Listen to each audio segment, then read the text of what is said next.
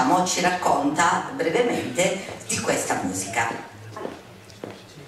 Eh, buonasera, bentornati a chi c'è per la seconda volta e eh, benvenuti a coloro che vengono oggi per la prima volta ad ascoltare queste, questa nostra musica perché eh, noi siamo mh, della Pavia eh, a termine del mondo, diciamo, perché sapete che Brallo è l'ultimo comune che, eh, della nostra provincia che confina esattamente con l'Emilia Romagna, con il Piemonte e con la Liguria, quindi siamo, io dico sempre, cittadini del mondo.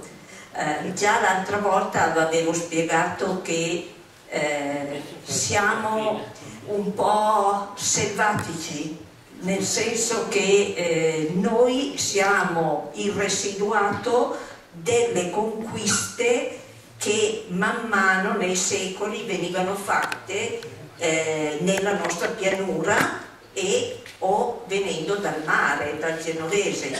Quindi tutte queste conquiste, la più importante forse quella romana, quando si è trovata a combattere con i cartaginesi, hanno determinato che le popolazioni stanziali continuassero per paura, perché c'erano le guerre, perché non avevano possibilità di ribellarsi o di far fronte agli attacchi, continuavano a ritirarsi finché non arrivavano nel punto più alto, in mezzo alle boscaglie, e lì si sentivano sicuri.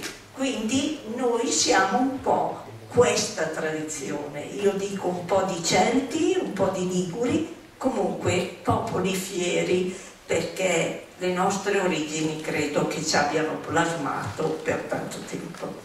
Stasera eh, sentiremo quelli che erano i cori degli unici momenti di festa che erano concessi, perché eh, vi parlo, io sono una giovinetta come vedete, ma quando ero bambina gli unici momenti di festa erano eh, conclusi con l'intervento del coro e l'intervento dei, eh, dei musetta, eh, quindi del piffero di montagna e della musa che lo accompagnava.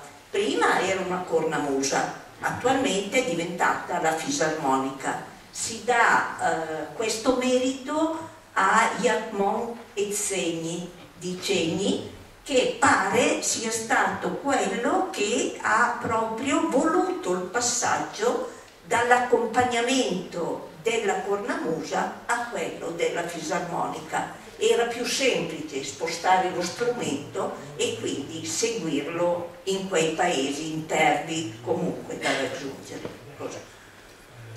Quindi eh, voi sapete che eh, io ho scritto dei proverbi in dialetto brallese e eh, pensavo a qualcuno che si riferisse alla musica, ma forse eravamo così affannati, così tribolati, così stanchi che ce ne sono pochissimi che riguardano il divertimento, no? In genere erano degli spunti, delle eh, sentenze di saggezza che dovevano insegnarti a vivere.